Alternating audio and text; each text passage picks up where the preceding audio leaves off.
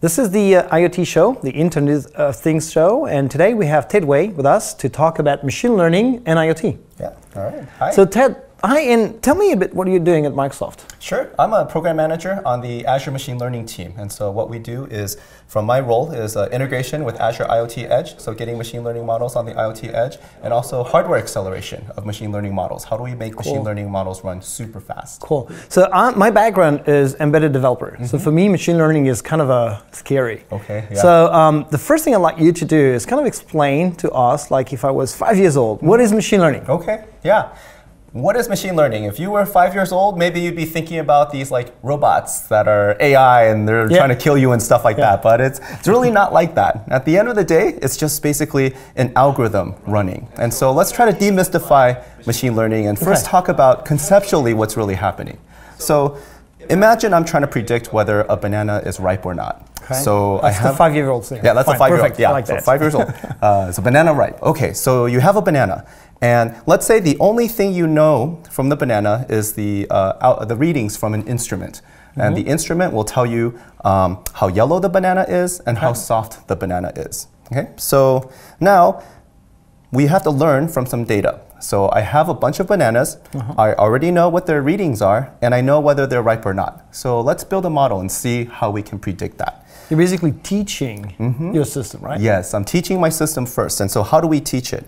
So, we start with a ripe banana, and uh, my instrument tells me this is how yellow it is, and this mm-hmm. is how soft it is. Okay. So, I have a few more ripe bananas, mm-hmm. okay? So, I'm getting more instrument readings. Mm-hmm. And now I also have my raw bananas or unripe bananas, Okay. and these are the instrument readings, okay? And so, you know, I just have a bunch of ripe bananas and a bunch of raw bananas. Mm.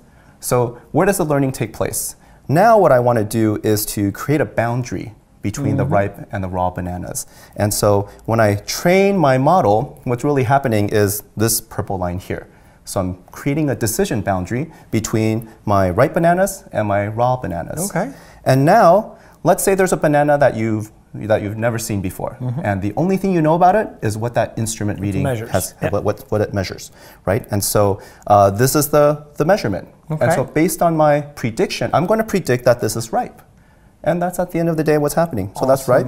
I have a banana with this instrument reading, and this is what's I'm going to predict raw. So a machine learning model, when you're feeding in data, Mm-hmm. What you're doing here is feeding it how yellow it is and how soft it is. Okay. And the prediction that comes back is ripe or raw. Okay.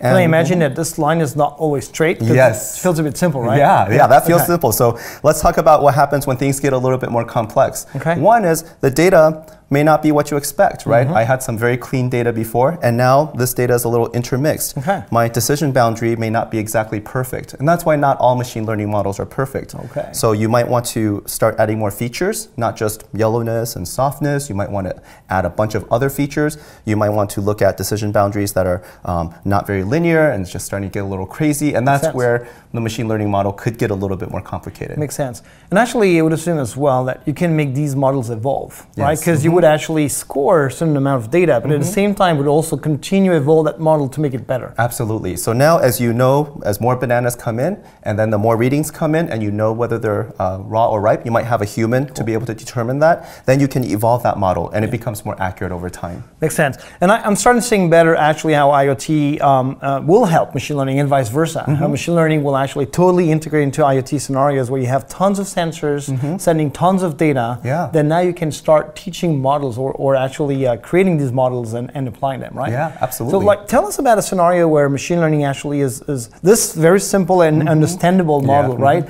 Uh, can be applied in an Internet of Things scenario. Yeah, sure. So um, one device may be your entire car. So you think about your entire car, all the telemetry that's coming Yeah, from the yeah. car, right? And so what we can do here is basically create a um, create a dashboard here based off of a, a solution that we have. Okay. So the solution, uh, what this is doing is basically giving you um, a lot of the data that's coming off of the car. So things Okay. like speed and um, uh, uh, fluid levels and uh, you know all Yeah. these different things that are coming Mm-hmm, off, right? And so let me just show you a quick. Uh, um,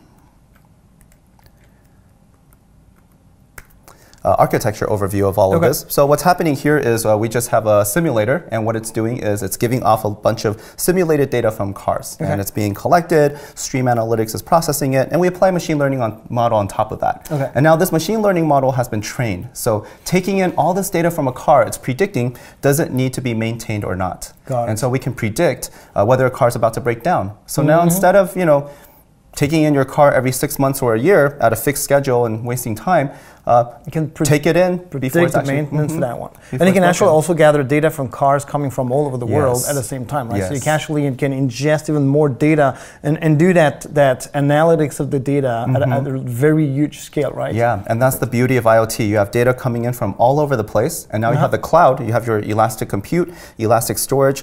All that data is being processed, and you can build better and better models. Now you can have an overview of all the cars in the world that you're collecting data from, Okay. and then you can start segmenting them. Um, are cars in this specific region requiring a different type of model to Okay. predict? Uh, cars in that region, and now you have better prediction accuracy in that way. Awesome. Very cool. Very interesting. I'm sure we're going to learn more about machine learning in IT scenarios in the future. It was a great introduction. Thanks, Ted. Okay, great. Thank you very much.